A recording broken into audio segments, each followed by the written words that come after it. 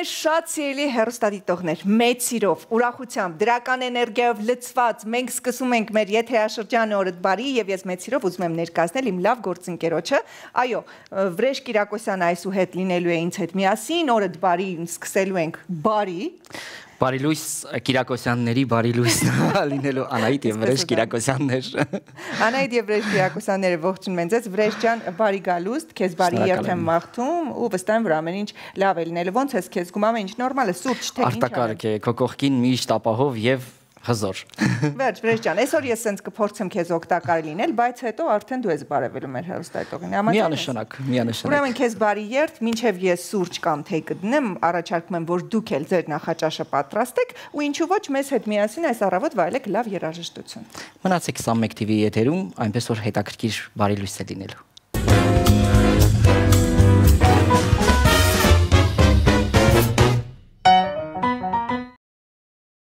Ինչ վերադարձանք գեղեցիկ տեսահոլովակից հետո եւ լավ տրամադրությամբ շարունակում ենք մեր եթերը։ Իսկ այժմ կխոսենք բարի մայիսի մասին։ Ինչ է քեզ համար մայիսը, Անահիտ։ Ընդհանրապես մեր մայիսը մի բարության պատկեր է, ով միշտ մտածում է թե ինչպես անել, որ ուրախացնել մարդկանց, ում չի ճանաչում։ Սա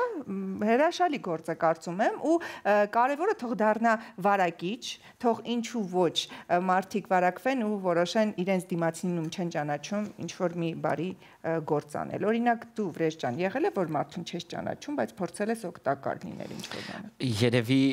շաբաթվա մեջ մի քանի անգամ լինում է այդպեսի դեպքեր այո։ Հաստորեն մենք ունենք ոչ միայն բարի մայիսեջ, այլ նաև բարի Վրեժը, բայց տարօրինակ անջում չէ, բարի Վրեժը։ Վրեժը բարի։ Ես վրեժը բարի լինի։ Վրեժը բարի է լինում եւ ասեմ որ ինձ համար մայիսը շատ սիմվոլիկ է Անահիտ, շատ շատ սիմվոլիկ է, որովհետեւ իմ տղաս առաջնեկս ծնվել է մայիս ամսին։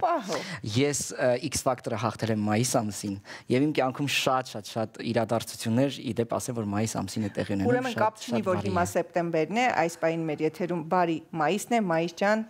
քեզ տեսնենք, որից հետո կունենանք հրաշալի հյուր, այնպես որ մնացեք մեզ հետ։ Женщина, здравствуйте. А можно вам один маленький вопрос задать? Маленький, простой. Как вас зовут? Просто имя. Асмик. Асмик? Представляете, мы это имя загадали. Вам подарок. Ой, спасибо. Пожалуйста. Хорошего дня. Улыбайтесь. До свидания. А как вас зовут? Вот просто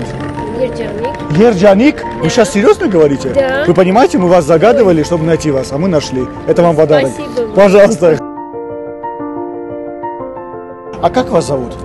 Татьяна. Татьяна? Вы сейчас серьезно говорите? А вы понимаете, что мы загадывали имя Татьяны, чтобы подарить? Ваше. мне? Просто. Да просто вам букетик подарочек, чтобы вы улыбались лишний раз. Весна как-никак, конечно. И улыбайтесь, главное. Валентина?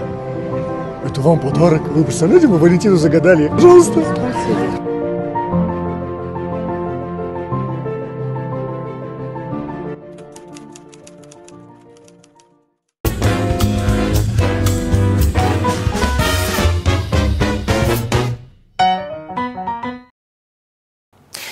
Մեր շատ սիրելի հերոստայտող, ինչպես եւ խոստացել ենք, ճիշտ ժամանակն է որպեսի ներկայացնենք մեր հարգարժան հյուրին, բայց մինչ այդ նշեմ, որ Սո Սարգսյանի անվան համազգային թատրոնում մեկնարկել է 33-րդ թատերաշրջանը, որը մեկնարկել է միանգամից 3 ներկայացումով, երկուսը արդեն իսկ հանձնվել է հանդիսատեսի դատին եւ արխիվում է պրեմիերա սեպտեմբերի 26 եւ 27-ին տեղի կունենա Սո Սարգսյանի Լակոտը վիպակի հիման վրա բեմադրված ներկայացման առաջնախախը։ Ներկայացումը նվիրվում է մեծանուն վարպետի 95 ամյակին, իսկ մեր հյուրն է Հարգարժան վարպետ, վաստակավոր արտիստ Դավիթ Հակոբյանը։ Բարի լույս։ Բարի լույս, պարոն Հակոբյան։ Բարի լույս։ Բարի գալուստ մեզ մոտ։ Շնորհակալ։ Ձեր կյանքի որ երրորդ թատերաշրջանն է, պարոն Հակոբյան։ Դե եթե համարենք, որ գիտակցական կյանքս արդեն անցել է խաղերի մեջ, երևի չգիտեմ արդեն, որ երրորդ։ Դժվար է ասել, չգիտեմ։ Պարոն Հակոբյան, նախ շատ ուրախ ենք, որ առավոտը սկսում եք մեզ հետ միասին եւ կուզենայինք իմանալ ինչ է ձեզ համար կոնկրետ լակոտը, հա, այն առաջնախաղը, որ տեղի ունենալու Սոս Սարգսյանի գործը, որքանով է տարբերվում մյուս բոլոր ներկայացումներից, որոնք եղել են։ Դե նախ իր խորհրդով արդեն տարբեր է, որովհետև վերջին հաշվով դա մեր վարպետի, մեր թատրոնի հիմնադրի գործն է իր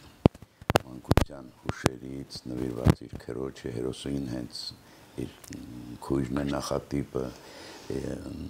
հետաքրքիր դարաշրջանի մասին, Ստալինյան դարաշրջան եւ այլն եւ այլն։ Եվ գրված է բավական հետաքրքիր, բարձր ճաշակով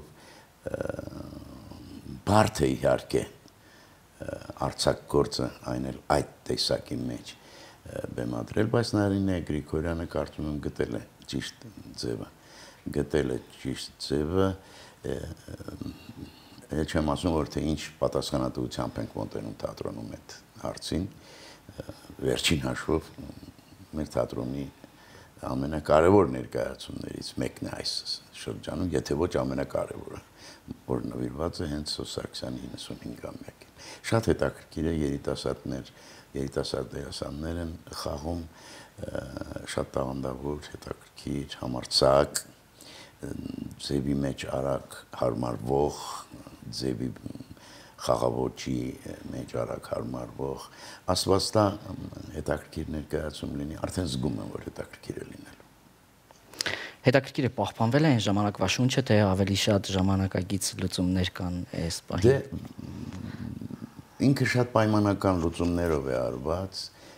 այսպես ասած մանրակրկիտ դարաշրջանային դետալները մի քիչ ավելի այլ կերպ են ներկայացվում։ Մոտիվացված ավելի ժամանակից։ Բայց ուզես չուզես անդադար է թեման կախվում է օդից։ Ուզես չուզես անդադար կախվում է։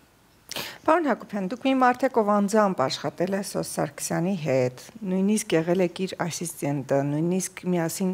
թատրոնում ու բեմում։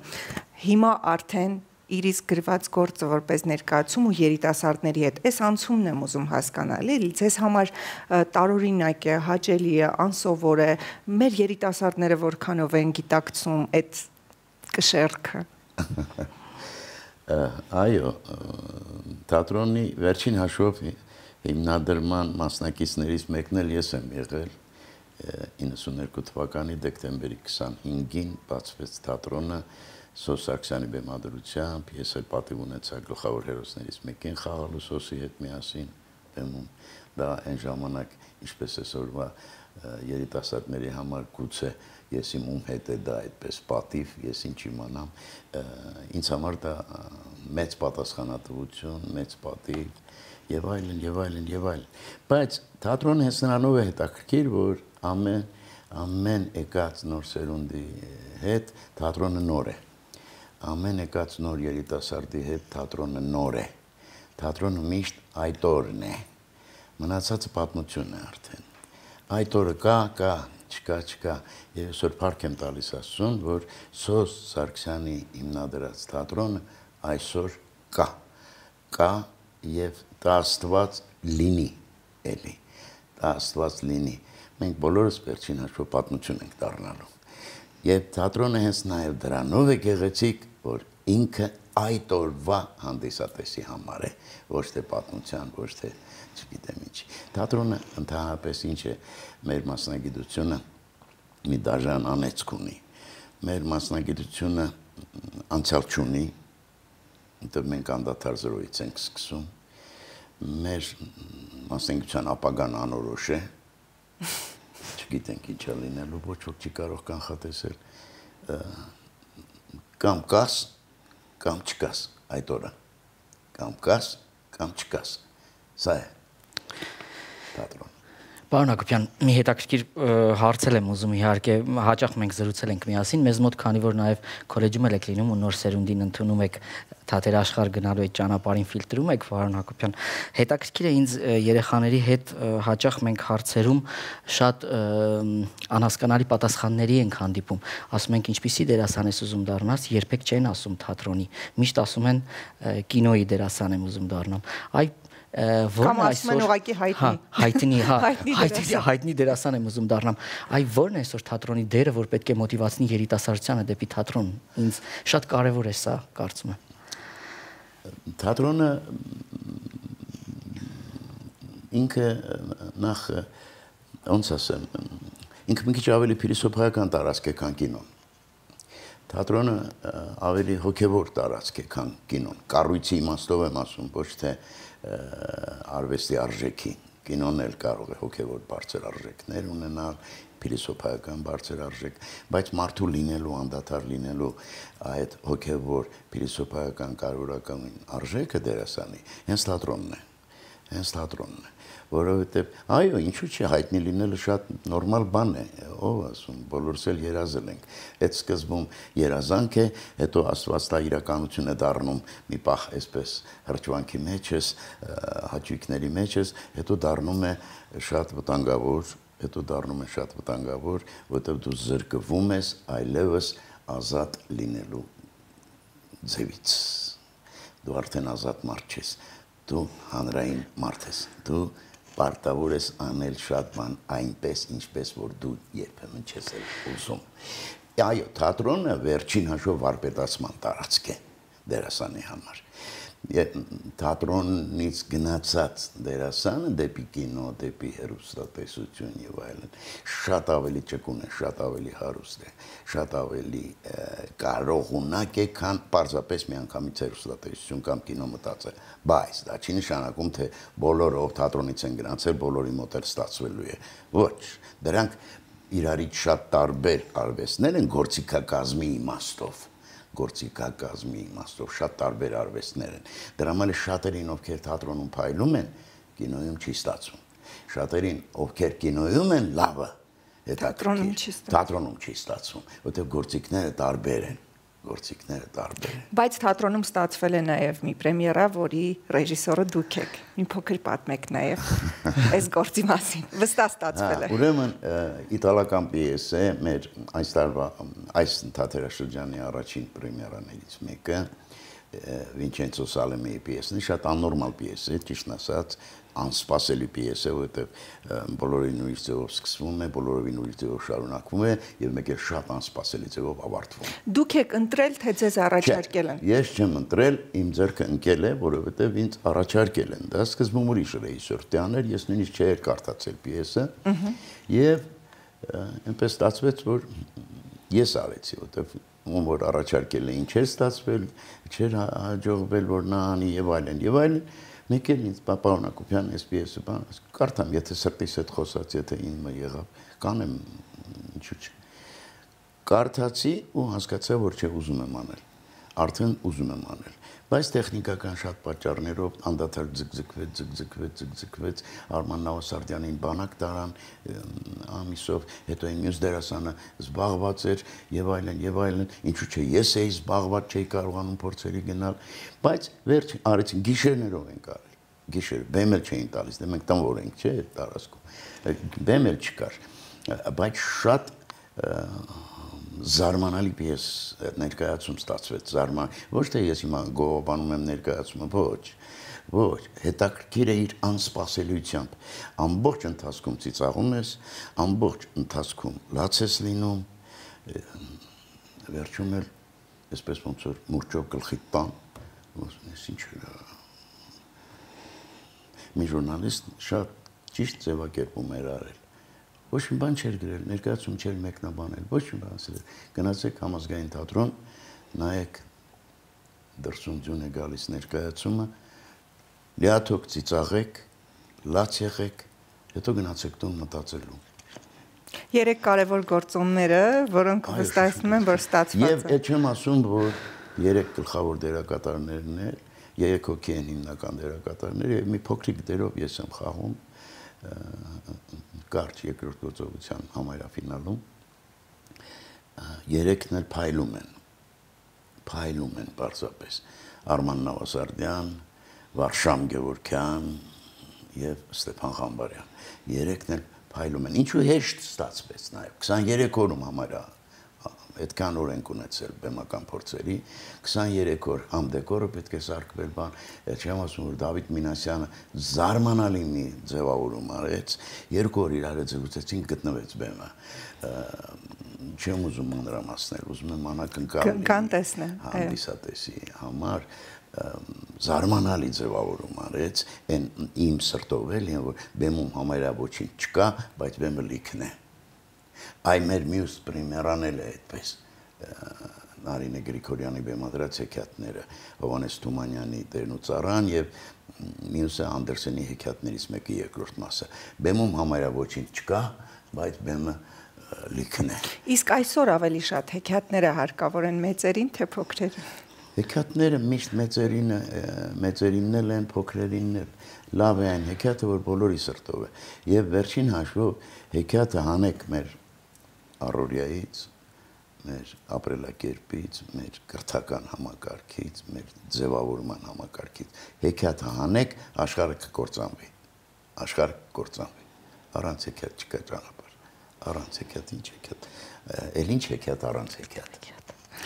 Բացի այն, որ դուք դերասան եք, ռեժիսոր եք, դուք նաև երկար տարիներ դասավանդում եք։ Ինչն է ձեզ զայրացնում այսօր ուսանողի մեջ, երիտասարդի մեջ, ինչի հետ չեք հաշտվում, ինչ կցանկանայիք փոխել։ Փոխելու խնդիր չկա։ Կա այն ինչ կա։ Ահա։ Իսկ իմ գործն ինչ է։ Իմ գործը նրանց պատրաստելն է ապագա կյանքի դերասան դառնալ։ Ես նրանց ոչ տաղանդ եմ սովորեցնում, ոչ էլ շնորհք վերջին հաշվով, դա աստվածն է կամ նրանք դա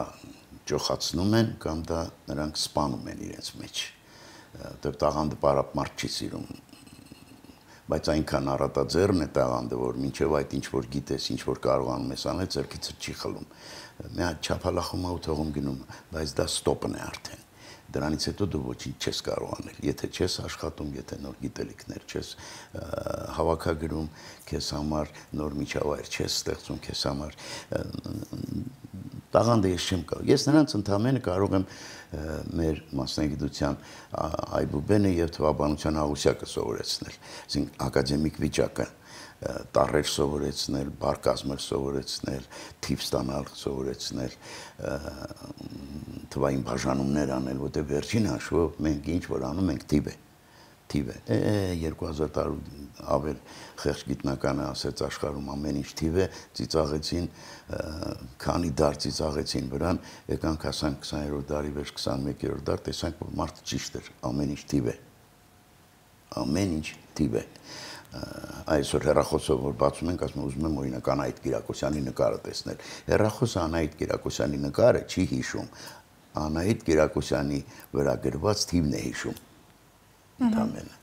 ուրիշ ոչ մի բան թե չէ հերախոսին առանձնապես հետաքրքիր չի դա երբ մենք ձեր ուսանողն ենք մի հատ տող կար, որ դաջվել է բոլորից մեջ։ Ցանկացած ապուշություն արեք չափազանց լրջորեն, դրանից արվեստի հոտ է գալիս։ Այո։ Այսօր էլ եք այդ կարծիքին։ Այո, իհարկե, որովհետև դա չի կարող փոխվել, դա չի կարող փոխվել եւ չափազանց լրջորենի փոխարեն ես ուրիշ բառ եի ասում լավ չես հիշում լավ չես հիշում անայ ջան երկուս ես ասում եի ցանկացած հիմարություն ամենամեծ ապուշ բանը բեմում արեք հավի լրջությամբ եւ դրանից արդեն թատրոնի հոտ է գալիս որտեղ ես չգիտեմ ինչի խորապես համոզված եմ որ ամենալուրջ կենթանին հավն է Ես ոչ մի կենթանու դեմքին այդ տեսակ լուրջ արտահայտություն, այդ թատերային լրջություն չեմ տեսել։ Այ հա։ Շատ լուրջ է ինքը։ Ոչ մեկ այդ լրջությունը չունի իր դեմքին, բայց թատրոն է, բայց թատրոն ինքը չես հասկանում ինչ է անում, բայց հավատում ես նրա արածին։ Այն նույնը դա է։ Այդ այսօրվա երիտասարդության խնդիրը բոլորովին ուրիշ է արդեն որ երրորդ սերունդն է գնալով դա խորանում է ես դրա հոգեբանական պատճառները իհարկե գիտեմ, բայց դա այսօրվա քննարկման նյութ չէ որովհետև տարիներով անդադար ինչ էին քարոզում ինչ էին քարոզում եւ դրսի անդադար դրսից մեզ ինչ էին քարոզում մենք էլ թակում որտեղ փակ երկիր էինք մենք սովետ միությունը փակ երկիր ազատություն ռադիոկայան ամերիկային ցայնի տարբեր տեսատարատեսակներ եվրոպական ցայն չգիտեմ ինչ ցայն ինչ մի բառ են անդադար քարոզվում մարդու իրավունք իրավունք իրավունք իրավունք իրավունք իրավունք իրավունք այո մարդու իրավունքներ չէ լավ բան է Բայց ոչ մի կանալով չէր գրվում Պարտականություն, պարտականություն, պարտականություն, պարտականություն, պարտականություն։ Յուրաքանչյուր իրավունք ինքը փոխադարձության իրավունք, իրավունք սկզբունք ունի։ Այսօր ցավոք սրտի երիտասարդության մի մեծ մաս, որ գալիս է ինստիտուտ, վստահ եմ նաև մյուս համալսարանները, դա միայն մեր համալսարանի խնդիրը չէ, բոլորը արտակարգ գիտեն իրենց իրավունքները։ Գլոբալ ցավ է իմիջալոց։ Արտակարգ։ Մի 50 իրավունք էլ ավելի գիտեն, որոնք օրենքով համարագրված չեն։ Բայց ամենացավալին գիտեք ինչն է։ Այսքան պարտականության զգացողություն չգիտեն։ Եվ ընդհանրապես խորապես համոզված եմ, որ կրթված մարդը, արժանապատիվ մարդը մեկ իրավունք ունի ընդհանրապես մեկ իրավունք մնացածը բնական պահանջներ են պատկերացնում եք մարդը իրավունք ունի ճիշիկանելու պետք է ապահովել նրան ճիշիկանելու իրավունքը Դա բնական պահանջ է այդ ծրցավտան։ Բուժվելը դա պետության պարտականությունն է, դա բնական պահանջ է։ Իրավունքով ամրագրել դա պետք չէ։ Կրթությունը բնական պահանջ պետք է դառնա ոչ թե իրավունք։ Ահա բանակում ծառայելը ինչու իրավունք չէ։ Հա? Բա ինչու՞ չգամ իրավունք ունի ծառայելու բանակում։ Չկա, չէ, հակասությունն է, չէ, մի հատ խորը մտածեք ինչ վտանգավոր բան ասացի։ Բայց չկա։ Մարդը մեկ իրավունք ունի, ես խորապես համոզված եմ դրան։ Մարդը ունի իրավունք արժանապատիվ պարտականություն ունենալու։ Մնացածը բնական պահանջներ։ Ցավոք սրտի։ Գիտեք ինչն է ցավալին, պարոն Հակոբյան, նաև որ այդ երիտասարդությունը, որոնց այդ ամենօրյա աշխատանքը իհարկե նաև իմ աշխատանքային գործից ելնելով, իրենք այդ իրավունքները, որոնք որ գիտեն, դրա երևի 1% անգամ չեն կարդացել, չեն ուսումնասիրել։ Եվ ցավալին այն է, երբ որ գալիս են որևիցե իրավունք էլ ներկայացնում են, այնքան կծկտուր է, աղքատ ու ողորմելի է, ես իրենց բացատրում եմ, անգամ ծիծաղում եմ երբեմն, ես իրենց ասում եմ, չնեղանաք, ծաղրում եմ իրենց, ասում եմ, գոնե կարդացեք, այսինքն եթե որևիցե իրավունք բարձրաձայնում եք, կարելի է այդ իրավունքը կարդալ, ի վերջո դրանք նորմեր են, որոնք որ յուրաքանչյուր ոլորտում կան դա կլինի ուսանողական, թե կլինի փողոցն հատելու եւ ոստիկանի հետ գործ ունենալու։ Եվ հետո գնում են սկսում են կարդալ ինչ որ գալիս են հասկանում են որ բան է։ Այ վատ տենդենսը դա է, որ ասում են իրավունք, բայց իրենք չեն պատկերացնում։ Դրա մասին լուրջ պատկերացում չունեն նաեւ իրենց իրավունքների մասին։ Ժամանակակից, այսինքն երկրներում մեր սահմաններից դուրս երբ որ շփվում ես երիտասարդության հետ, իրենք իրենց իրավունքները գիտեն եւ ճշգրիտ գիտեն իրենց իրավունքները, բայց նաեւ ճշգրիտ գիտեն իրենց փոխադարձ պարտականությունները քո հանդեպ։ Այսինքն երբ որ կիրառում են իրենց իրավունքը, անպայման իրենց պարտականությունը կատարում են, հետո նոր բխեցնում են իրենց իրավունքը քո վրա եւ ասում են, որ ես այս իրավունք ունեմ, բայց այստեղ շատ իհարկե շատ վատ է էս։ Եվ երիտասարդությունը Իսկ վերջին հաշվով մեծագույն խնդիրը այն է, որ մենք մինչև հիմա էլ այդպես էլ չենք կարողանում հասկանալ մի բարձ տարբերություն։ Մենք ամեն ինչին ասում ենք կրթություն դպրոցում սովորելուն ասում են կրթություն, մանկապարտեզում կրթություն,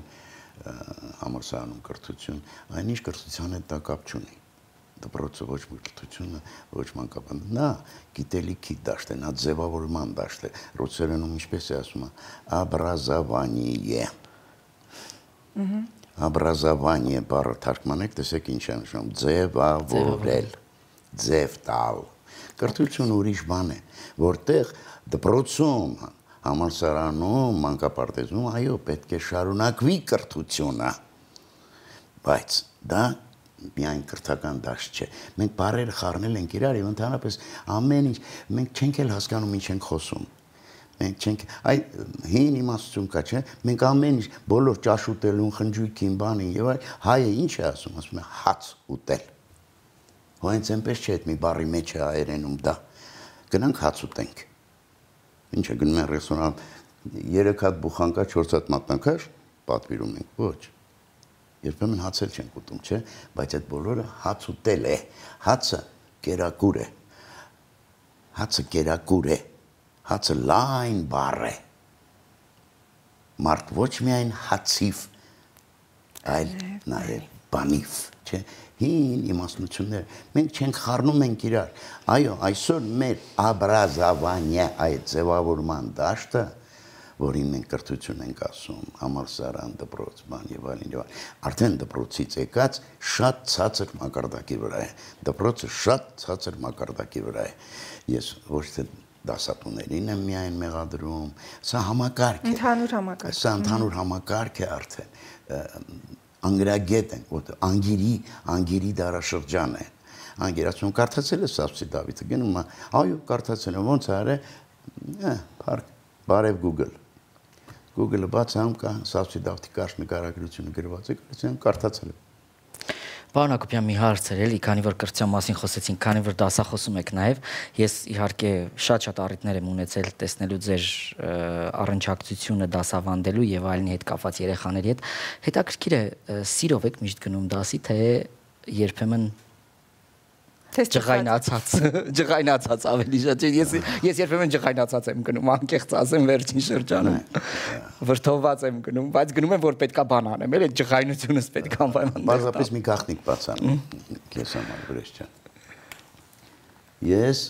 կյանքումս երևի աշխատել եմ մի քանի ամիս մնացած երբեք չեմ աշխատել Իսկ կյանքումս չեմ աշխատել։ Հիմա էլ չեմ աշխատում։ Որովհետև զբաղված եմ իմ սիրած գործով։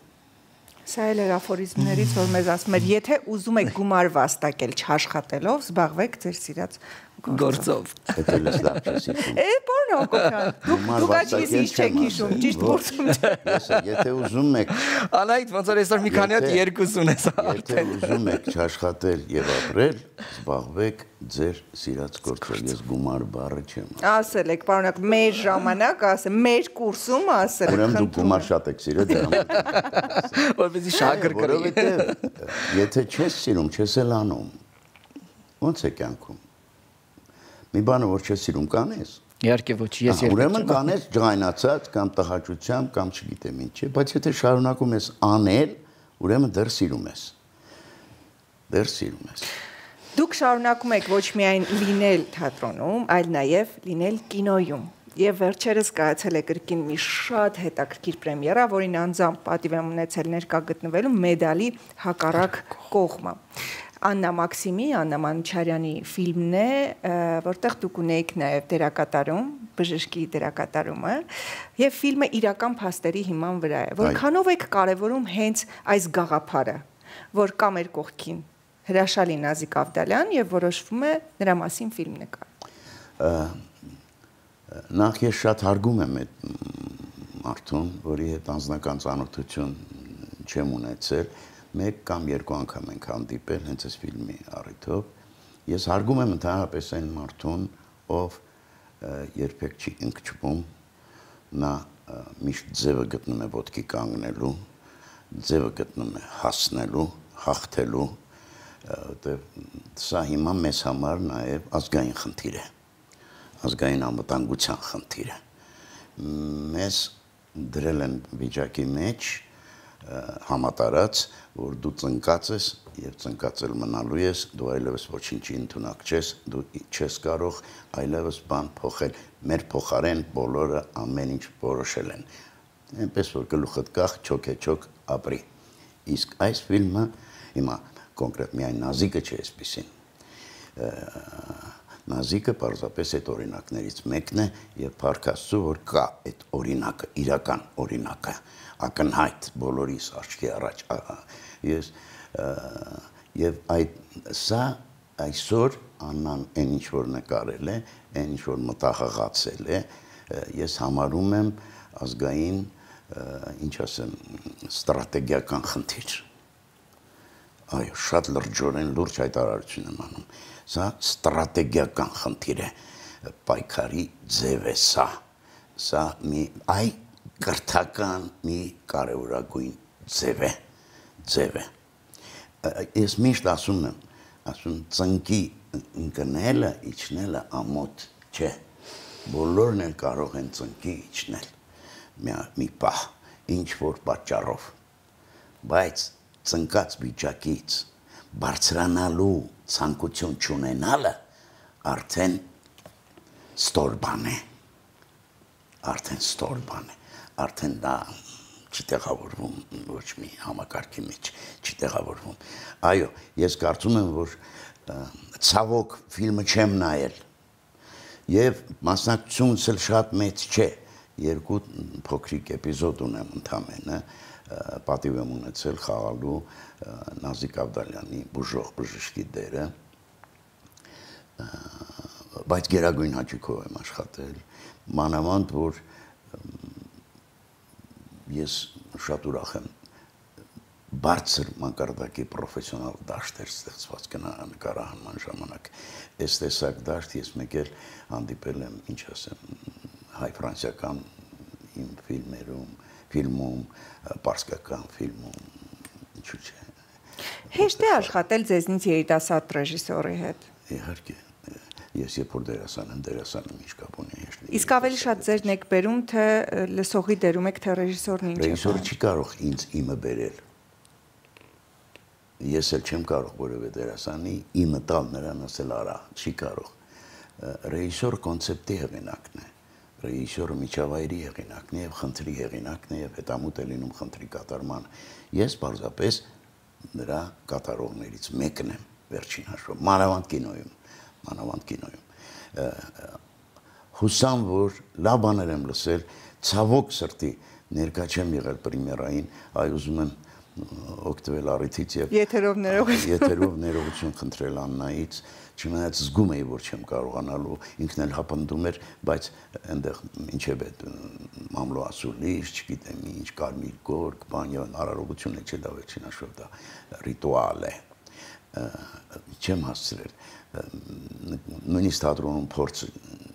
չեղավ, չկարողացա գնալ, գնացել եմ մի անգամից ներկայացում են հազիվ խցանումներ, բաներ եւ այլն, եւ այլն նկարանումից հազիվ ինձ գցել եմ թատրոն, ներկայացում եմ խաղացել այդ օրը այդ օրը բայց հետո շատ դժվար է իրական դեպքի վրա ստանալ գեղարվեստական արժեք իրական դեպքի վրա գեղարվեստական արժեք ստանալը շատ դժվար է որովհետև ես խորապես համոզված եմ եւ դա այդպես է, ես չէ որ դա պետք է ապացուցեմ։ Արվեստը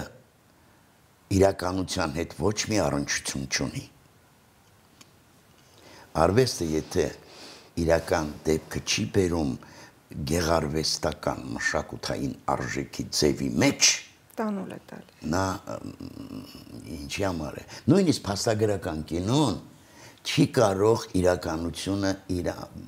իրական վիճակով ներկայացնել հնարավոր չէ 10 օպերատոր հիմա կանգնեցրեք մի որևէ դեպքի շուրջ ասեք նկարեք հետո նայեք 10-ի նկարածները 10-ին էլ տարբեր է 10-ին էլ տարբեր է նույն բանը չի կարող լինել չի կարող լինել բարձրապես արվեստ իրականության հետ ոչ մի առնչություն չունի արվեստը հետո վերջին հաշվով այն մասին չէ թե ինչ կեղտի մեջ ենք ապրում ով չգիտի որ կեղտի մեջ ենք ապրում։ Մի հատ էլ փոխտամ կամ նայեմ, ինչ կեղտի մեջ եմ ապրում, ամեն օր դրա միջով անցնում եմ ես։ Արվեստն այն մասին է, թե որտեղ կուզեինք ապրել։ Որտեղ ոչ ոք չի կարող ինձ հիմա ասել ինչի մասին է Չայկովսկու երկրորդ սիմֆոնիան։ Հետո կարծում եմ մենք մեր այսօրվա մեր իրականության մեջ շատ հազվագյուտ ենք անդրադառնում են մարդկանց եւ այն երևույթներին, ովքեր որ մեզ մեզ հետ են եւ ունենք ված սովորույթ իրենց չլինելու, ֆիզիկական չլինելու դեպքում նոր անդրադառնալ, իրենց մասին ապրեցնել, ֆիլմեր, գրքեր եւ այլ եւ այլ։ Սա շատ լավ մշակույթ է կարծում եմ նաեւ այսօր մենք քիչ ունենք նմանատիպ նախադեպեր կարծում եմ։ Փարկասության նոր երևույթ չէ,